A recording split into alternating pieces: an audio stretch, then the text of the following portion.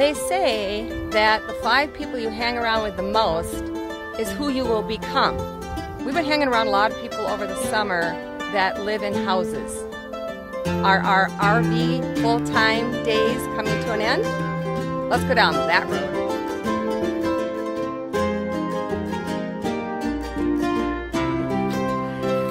Hello, faithful people. I'm Orlean. And I'm Gary. And we are out for a hike. It was supposed to be a short one because we're supposed to be checking out of the campground today. Um, but the maps are not always very accurate. And we did not come prepared again. Unfortunately, we're on the shorter side now. oh boy. Anyway, we thought this would be a good time to talk to you a little bit about what's been happening with us over the summer. Um, we are now into our fifth year of living full-time RV. Hey, there's a map. Okay. We've run across a few uh, little detours on this, which has kind of goofed us up a little bit. And it was not supposed to rain, and we're fearing sprinkles now. And we're a ways away yet from the campground, we think, because we don't know where we are. We're on Rabbit Run Pass. Yes, we just found that out, but that wasn't on the map. Okay. well, surprise, surprise. anyway, I was just saying how warm I was because we've been walking for a ways now and um, it's starting to rain, so we should cool, cool off. Yeah, I may have to stop filming if it rains too much. Anyway, we have been around a lot of people over the summer that live in houses. Some of our friends live in houses, our family lives in houses, and we have stayed at uh, quite a few driveways and parking lots, church parking lots, things like that. And they all have houses. And every time, every summer when we come back to visit family and friends, we start thinking that way. Maybe we should look at getting something else. Maybe we should look at getting into something like a house or an apartment or something. Well, this year had a little bit of a twist. My mom lives in an assisted living complex. She's going to be 96 next month. And she'd been falling quite a bit. And no broken bones, thank goodness. But we get, just keep thinking, you know, boy, one bad fall. Are we going to want to be south like we usually do in the winter, where we serve a church for the winter, a vacancy of some kind, as an interim pastor. Mm-hmm. Are we going to want to be far away if anything happens? Well, then other family members have had some health issues too. We're like, oh my goodness, how far do we want to be? And so we started looking at different options. One was to look at apartments. Well, they're kind of expensive. And then we'd still have to put our RV home into storage, which would add to the expense. The second thing we looked at was maybe buying a mobile home. We would be totally okay living in that small of a mm-hmm. space. We live in 180 square feet now, so mm. moving into something that's about 900 or 1,000 square feet would be huge. and we found one that's kind of close to two of our kids and not that terribly far from the third. And it was close to the moms, his mom and my mom. We found a mobile home park that we really liked. It was the nicest one we've ever seen. And it was for 55 plus. And we thought, well, that would be a possibility. But then we found out there was a waiting list for that one. We're coming to a parking area. We're almost to the road. okay. we have no idea how far we've walked, and I'm not, I didn't bring my selfie stick along, so I'm holding this with my hand. Oh my goodness. Okay. Anyway. we even considered Gary serving a congregation with a vacancy. There's so many in Wisconsin or somewhere in Minnesota. We didn't bring bug spray either. and seeing if uh, there was one with a parsonage. so that we could have our RV on the property, which would eliminate that expense. And then we and then we would serve the church for the winter. We'd have a parsonage to move into temporarily while we're serving. Then we'd be close by. There wasn't anything that was really very close, except one, and it didn't have a parsonage. so, we're still looking into that, still looking into some other areas that wouldn't be too far from all those, all the family. Okay, I'm just getting attacked here. We've really been looking into a lot of that, those options over the last couple of months, actually the last three months, and haven't come to a complete decision yet.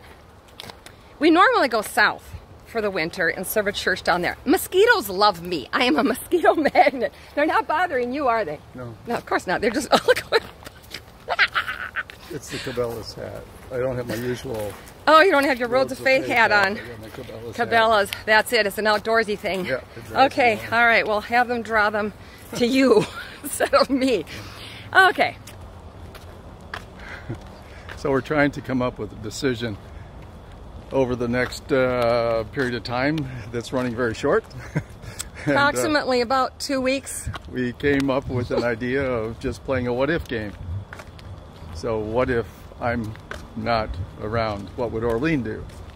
Cry. Yeah. what if Orlean wasn't around? What would I do? Uh, more of the same. But we, we tried doing that and coming to a solution. Didn't work. because we feel like we might be influencing each other. and and uh, what would we do if it was just our decision alone? Well, obviously, I wouldn't be able to serve a church because I'm not a pastor, and uh, so I can serve in a church as a member somewhere, but I I wouldn't be able to do that. So that would take that part of the equation out for me. Um, we just it Yeah. didn't work. We decided to just wait and see on that one. Yeah. We tried asking God to send us a, an email or a text or we don't we don't tweet, so we don't we can't do that or a YouTube video or something that he would tell us what we should do. But we know that no matter what we would do, God would bless it. So we can't really make a mistake. We wouldn't really be doing the wrong thing because it would be a blessing in one way or another anyway. yeah. Oh, good. I see home. Through the trees there, can you see our home? With our red door and our blue shutters. We've had a few people taking pictures and asking about that. So we're almost back home. Yay. that little 20 minute walk turned into about an hour, hour and a half. I don't know. It was over an hour. Hmm. That's all right. That's good. All good. I said we'd be back around 1.30. It's only 126. We wanted to beat the rain and, and dump the tanks and everything before it started to rain, but then it said it wasn't going to rain and whatever. we we uh, we will show you some scenery of some of the hikes we've been on. Just little little pictures of, of some of the scenery. It was very pretty, all of them, and just kind of we'll just combine a few of them together and show you some pictures here at the end. So stick around for that, and you'll want to know what we decided to do. Yes, I will.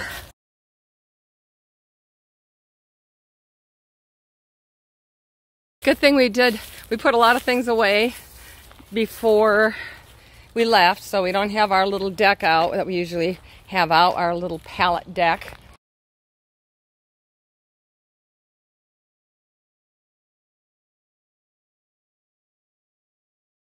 And we have to put our lights away and everything. Just got to take the star down and uh, get her hooked up. And we can hit the road. The campground that we're at is Mirror Lake State Park. So anybody who's in Wisconsin or maybe even Minnesota would probably know this park. We have not been here since our girls were younger. It's one of the parks that we started out our camping adventures at, so it takes us back in memories. So, Mm-hmm. what we love about this kind of lifestyle. Yep. And we also met some neighbors within five minutes after we got here, which doesn't happen in a hotel or in even in apartments or places like that. From our experiences, um, we we were we stayed in a neighborhood for nine days, taking care of someone's cats recently while they were on vacation, and we met one neighbor, and that was briefly, and it wasn't it wasn't to get to know us or anything like that. Everybody kind of stayed to themselves. And it was like, this is weird. We're not used to that. So when we came here, we met this one couple. They've left now, but they were right over there. And we were within five minutes, we met them and we were talking with them. And it was like, yeah, being back in nature, hiking, and talking to people.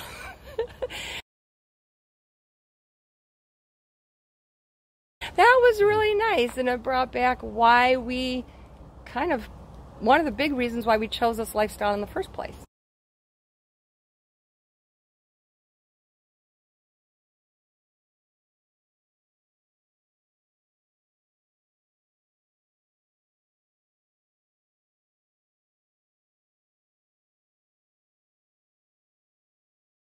Another reason we chose this lifestyle was because of our kids we have a daughter and son-in-law and three now three grandchildren that are in British Columbia, Canada. If you're not familiar with your geography, that's the one that's above Oregon and Washington State on the Pacific coast. A lot of people don't know where BC is.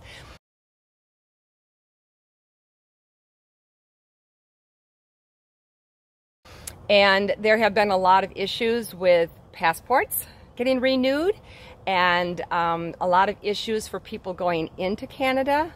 And uh, they say the border's open on going into Canada, not coming out of Canada yet.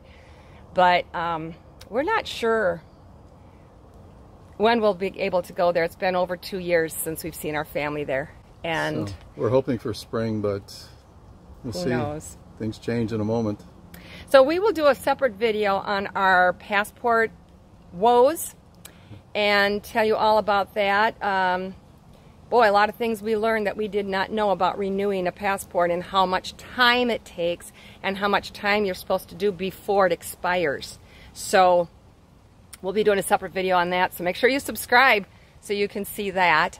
Right now we're going to take you on some of the trails we were on, just little highlights of each one. And uh, we'll, at the end, we'll tell you what our decision is. Stay tuned.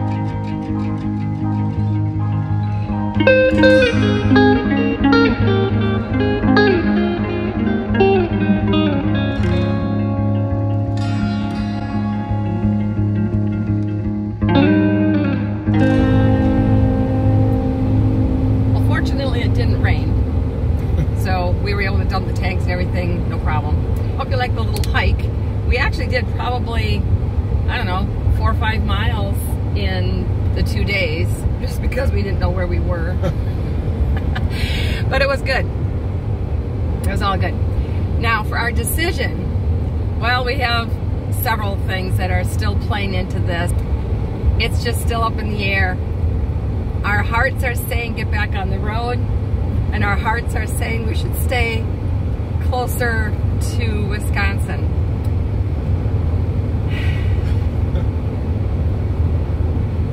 Stay tuned, and we'll, we need to make a decision soon, so stay tuned. We're still looking into things, and we'll hopefully have something to announce in a, a week or so, or two, Or three. or three.